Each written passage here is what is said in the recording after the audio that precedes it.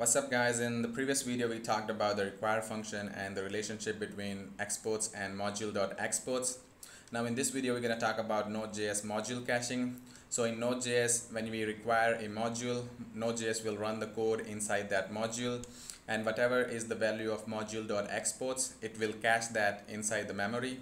So next time if you require the same module, Node.js will not run the code inside that module again and it will return that module.exports value from the memory.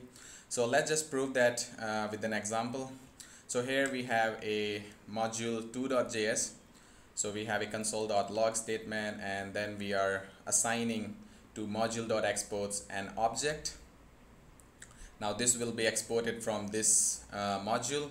So we have func2 which is a function, sum which is a function and alpha which have a primitive value.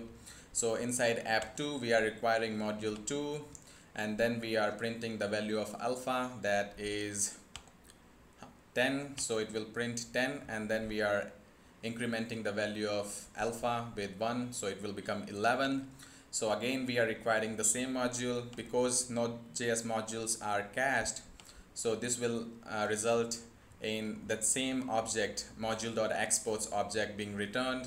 So it will print 11 here rather than printing 10 so let's just run this file.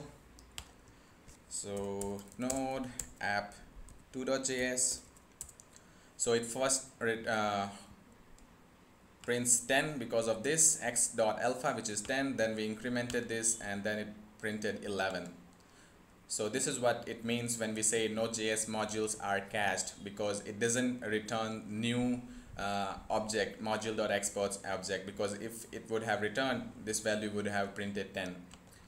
So this is how Node.js modules are cached but sometimes you will require to return new objects every time you require the module. To do that what we do is we return a function. So here we have a module3 file where we are assigning a function to module.exports. So whenever we require this module, what will be returned is a function and then we can execute that function. So this will return always a new object. So here in app3.js we are requiring the module3.js and since this returns a function we can execute that function and that will result in returning a new object every time we uh, execute that function. So module 3 returns a function because we have uh, assigned module.exports to a function and then we execute that function that returns a new object. So here we are getting an object and we are accessing the alpha property which is uh, 10 I think. So let's see what is there. It's 10. So we are incrementing that by 1 and then we are printing it so it will print 11 now again we are requiring the same module but this time we are calling that function so it will return a new object.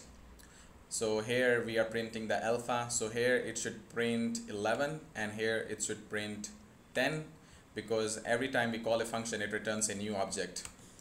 So let's just prove that. So node app3.js and you can see that uh, the code uh, is not uh, executed again. So in module 3 we have this console.log statement. It just printed one time. So if you see that it was just printed one time module m3 which is there in module file. And in the case of this uh, module 2 also when we try to require this module multiple times only first time this mod, uh, this console.log statement was returned is was printed. So that proves that node.js modules are cached and if you want to return a new object every time you require uh, that module you can export a function and then call that function that will return a new object. So this is how we can do that. And one more thing that uh, I just want to point out is since this code runs in a wrapper so Node.js runs this code inside a wrapper we don't have globals. So what we are returning here like in this module 2.js we are returning this object which have a sum function. So in app2 we are requiring this module 2 so suppose we are requiring another uh, module that have that sum function. So we can call that function with y dot sum and here we can call it with x dot sum. So we, we won't have any conflict in that case. So because that code runs in a wrapper uh, that's why we don't have these globals. So Node.js will run your code inside an IIFE so this code will run inside an IIFE so we don't have global and this will save us by the naming conflicts that we can get